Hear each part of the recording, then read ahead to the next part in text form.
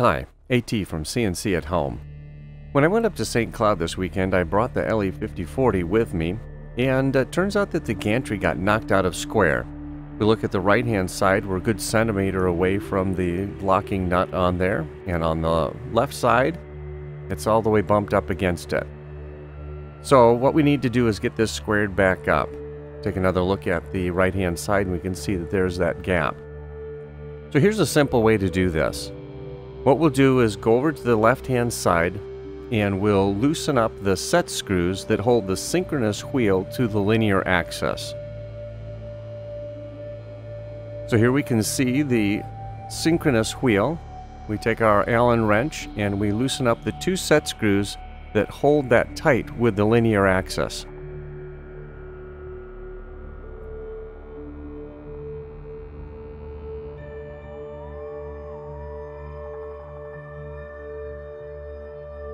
Once those two set screws are loosened, you can see that the gantry can move freely from either side.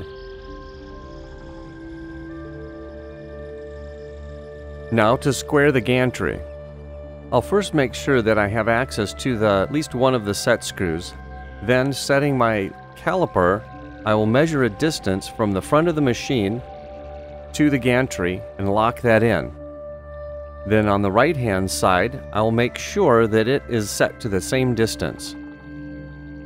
This may take a few times going back and forth to get that set. Once both sides are the same, carefully lock one of the set screws back against the linear axis. Then go to the other set screw and tighten it down as well.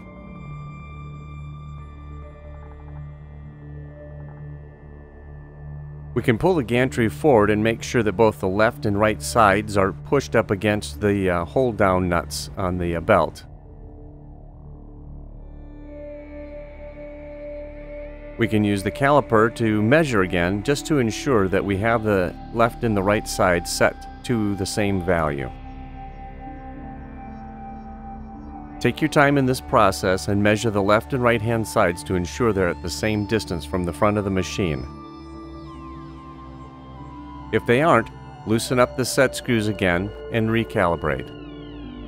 The gantry should move freely, and it should be square at this point. If you don't have a caliper, another method for doing this is just a straight edge. Use the straight edge to measure from the front of the machine to the gantry and use the entire length of the straight edge. Make sure it's flush against the front.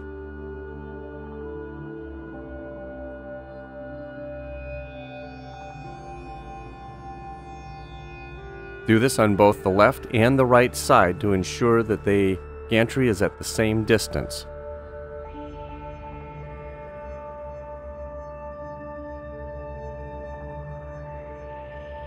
Once you've ensured that this is the same distance, your gantry is square.